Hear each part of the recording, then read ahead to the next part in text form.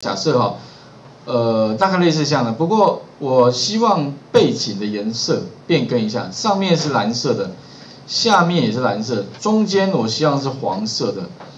如果你我们刚刚做的这样的效果哈，如果要变更特别注意啊，如果是上面要变成黄色的话，请记住哈，一定要先选取什么？选取这个 head，也就是说选取头的部分有没有？你去做一个什么呢？它的布景主题 data theming 哈，我来改一下，上面是蓝色的就 B，那页尾的部分，假如说也要是 B 的话，记得选一个页尾，也是 footer，一定要选到 footer 哦。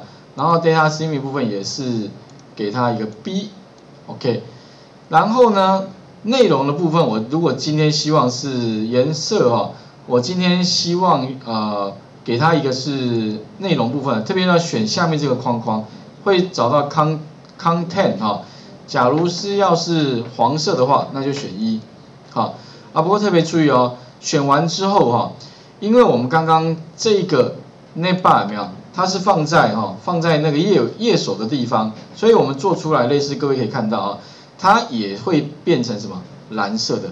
为什么？因为我刚刚放的是古文之美标题的这里面，所以如果说我今天希望怎么样，把刚刚那 bar 呢搬家搬到内容里面的话，其实非常简单哦。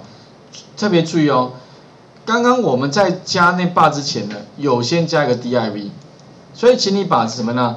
把这个 div 务必要选到，有时候不好选。好，各位可以看到有没有？点一下这个 div，接下来怎么样呢？把它剪下来，Ctrl X。把它剪下，剪下之后的话哈，再到内容的地方，请你把它怎么贴上，好，也就是说哈，我们前面第一个范例是把呃那把放在上面，第二个是放下面，这个范例的话哈，请各位把它放在中间，就是 context con 呃 content 里面，我们来看一下，那这样子的话做出来，各位可以看到有没有？这个时候上面是蓝色的，中间是黄色的，底下呢？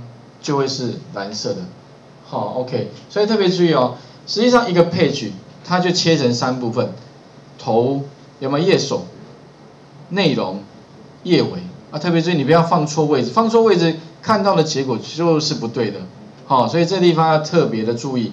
那做完之后的话呢，接下来哦，这个地方呢，我们再来页尾的部分加上什么呢？加上一个呃，比如说版权所有，就是这个。这个按钮啊，就是这个 button 的，在 image 里面的这个图叫 button，那把它放到页尾，这个叶尾两个字把它删掉，好，删掉之后呢，把这个 button 这张图呢拖拉过来，放开，按确。